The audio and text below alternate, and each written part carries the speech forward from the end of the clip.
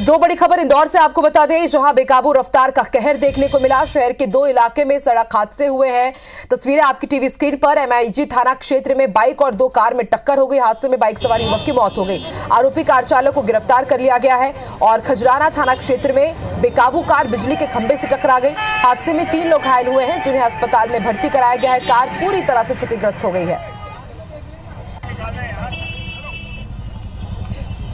तो ये दो तस्वीरें हम आपको दिखा रहे हैं। इंदौर में बेकाबू रफ्तार का कहर एक बार फिर देखने को मिला। पहली तस्वीर आप देख रहे हैं, इसमें एक बाइक सवार की मौत हो गई। बताया जा रहा है कि दो कार और एक बाइक की टक्कर हुई। और दूसरी तस्वीर आप देख रहे हैं, जहाँ पर कार पूरी तरह से क्षतिग्रस्त हो गई है और तीन युवक इस हादसे में घायल हुए हैं।